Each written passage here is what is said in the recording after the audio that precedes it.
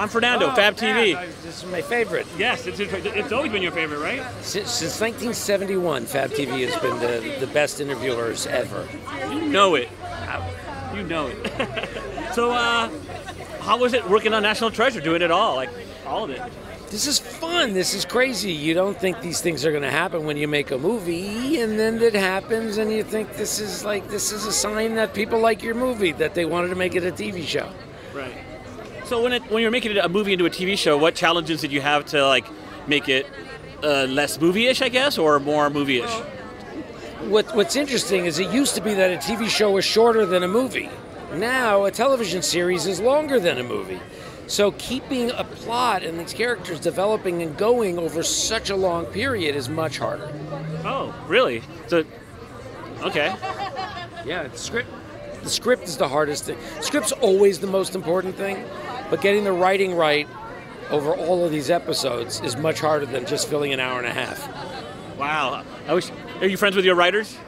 I have loved these writers for 20 years. Um, they did an amazing job on, on the first movie and uh, created a just did so much that made the difference to, between a good movie and a great movie. And this series couldn't be done without their sort of knowledge of what it is and their gut feelings for what it is. You know, you actually really couldn't use anybody else for this. Think about it. For for writing, Yeah. it is amazing. I'll tell you the truth. Tell- oh, Top please, secret. please, tell me the truth. Trying to get a National Treasure 3 movie made means you keep trying and write script after script. And it is amazing how badly people misinterpret what they see and how hard it is to capture these characters in this movie. So you had to go back to people who've known it since the beginning to find it. You know, when I watch National Treasure, I've seen them all, everything. I'm really into it. Look, you're like, I've seen them all. There's two movies. I, okay, I It's see. not like you watched the I watched. entire Well, no, because I watched Tale. one and two multiple times. Who are you bragging to?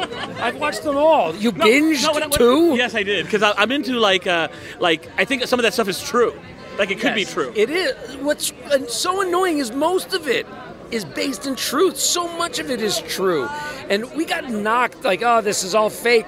I- got the stuff out of history books. We didn't get it out of like thin air. right, right. But a lot of people think it's not. A lot of it's, it's like 90% fake. I know it's and they, and they have.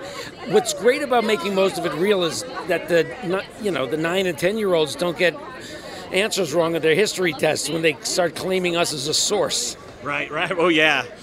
That doesn't go well. After I see the series, then I can say I've seen all of them.